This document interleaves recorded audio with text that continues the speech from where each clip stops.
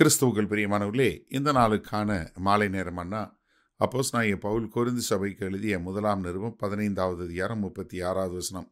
ஒன்று கொரிந்தியர் பதினைந்து முப்பத்தி ஆறு first Corinthian fifteen thirty six புத்தியினனே நீ விதைக்கிற விதை செத்தால் ஒழிய உயிர்க்க மாட்டாதே. அதாவது இப்போ ஒரு நாலு விதமான ரெஸ்பான்ஸ் என்று சொல்லக்கூடிய மறுமொழியை கொடுக்குறார். இங்கே முப்பத்தி ஆறாவது வசனத்திலிருந்து நாற்பத்தி ஒன்பதாவது வசனம் வரைக்கும் அப்போஸ் நான் இங்கே பவுல் நான்கு விதமான காரியங்களை கொடுக்கிறார். முதலாவது இயற்கையாக எப்படி இருக்குங்கிறத முப்பத்தி ஆறாவது வசனத்திலிருந்து முப்பத்தி எட்டாவது வசனம் வரைக்கும் ஒரு இயற்கையான காரியத்தின் மூலமாக விளக்கிறாரு. அடுத்து முப்பத்தி ஒன்பதாவது வசனத்திலிருந்து நாற்பத்தி இரண்டாவது வசனம் வரைக்கும் சரீர பிரகாரமாக அதாவது ஒரு சரீரம் எப்படி இருக்குங்கிற விளக்கம் அதாவது டிஸ்கிரிப்ஷன் ஆஃப் த பாடி என்று சொல்லக்கூடியதாக அதன் மூலமாய் என்ன அப்படிங்கிறத. அடுத்து நாற்பத்தி ரெண்டாவது வருஷத்துலேருந்து நாற்பத்தி ரெண்டாவது வருஷம் நாற்பத்தி நாலாவது வருஷம் வரைக்கும் அதாவது மாம்ச பிரகாரமான ஏர்த்லி என்று சொல்லக்கூடிய பூமிக்கு அடுத்த சரீரத்திற்கும் ஆவிக்குரிய சரீரத்திற்கும் இருக்கக்கூடிய எதிர்மறைகளை சொல்கிறாரு நாலாவது அடுத்து என்ன சொல்கிறாருன்னா நாற்பத்தி ஐந்தாவது வயசுலேருந்து நாற்பத்தி ஒன்பதாவது வசனம் வரைக்கும் அதாவது இயேசு கிறிஸ்துவனுடைய சரீரம் எப்படி நமக்கு முன்மாதிரியாக இருக்கும்.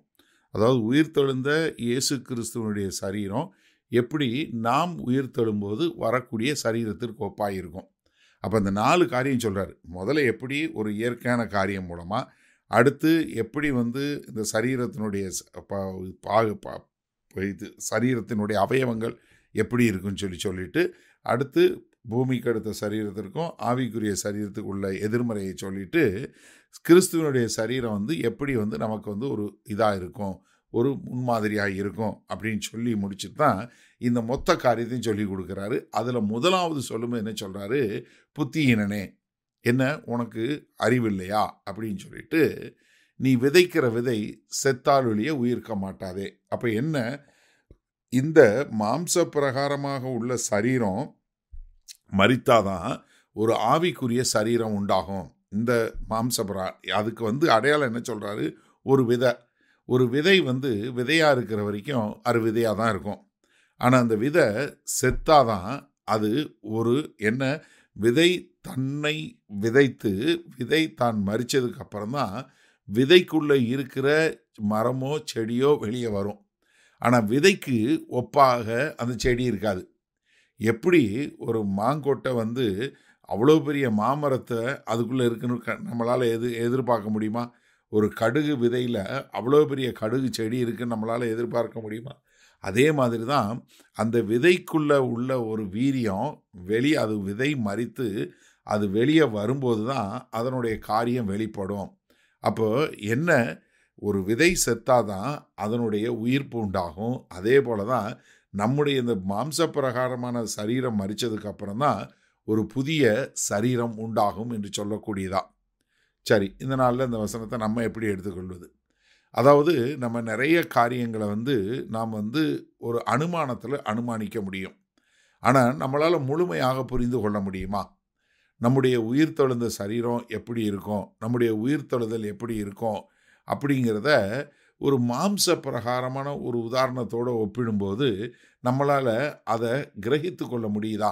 கொஞ்சம் சிந்திச்சு பாருங்கள் இப்போ நான் வந்து உங்ககிட்ட வந்து ஒன்றும் இல்லை ஒரு கொய்யா மரத்தினுடைய ஒரு விதையை கொடுக்குறேன். ஏன்னா கொய்யா பழத்தில் அவ்வளோ விதை இருக்குது இல்லை ஆப்பிள் எடுத்தவங்க ஆப்பிளில் அவ்வளோ விதை இருக்குது ஒரு சின்ன விதை. அதுவும் அந்த மரத்தையும் உங்களால் எந்த வகையிலையாவது ஒப்பிட முடியுதா? முடியவே முடியாது. அப்போ நம்மளுடைய அனுமானத்தில் நம்மளால் கிரகிச்சு கொள்ள முடியாது. சில ஆவிக்குரிய காரியங்களை நம்மளுடைய இந்த சிற்றறிவில் ஏற்றுக்கொள்ளவே முடியாது. அதனால தான் நமக்கு வந்து சில விஷயங்களில் நிச்சயமாக வித்திய விசுவாசம் தேவை. அப்போ என்ன? நம்ம காணக்கூடிய இப்போ அதாவது நீங்கள் நல்லா சிந்திச்சு பாருங்கள் நம்ம காணக்கூடிய ஒரு ஆப்பிள் விதையோ இல்லை ஒரு கொய்யா விதையோ இல்லை ஒரு மா விதையோ அதையே நம்மளால் கிரகிச்சிக்க முடியுதா? எப்படி இந்த விதை வந்து ஒரு மரமாக மாறும்? இந்த விதை மண்ணுக்குள்ளே போட்டு செத்துச்சுன்னா இது வந்து இவ்வளோ பெரிய மரமாக மாறுங்கிறத நம்மளால் கிரகிச்சிக்க முடியுதா? முடியாது. நம்ம நம்ம எந்த நம்மளுடைய என்ன அறிவு இது பண்ணாலுமே நம்மளால் அவ்வளோ பெரிய கிரகிக்கக்கூடிய தன்மை நம்மக்கிட்ட இல்லை. அதே மாதிரி தான் ஆவிக்குரிய காரியங்களில் நம்மளுடைய அறிவுக்கு அப்பாற்பட்ட காரியங்களை தான் நம்ம பார்க்க முடியும். அப்போ அதனால் ஆவிக்குரிய சில காரியங்களை நாம் விசுவாசத்தில் தேவனுடைய வார்த்தையின்படி கேட்டுக்கொண்டு அதை பெற்றுக்கொண்டு நாம் ஏற்றுக்கொண்டு வாழ நம்ம ஒப்பு கொடுப்போமா?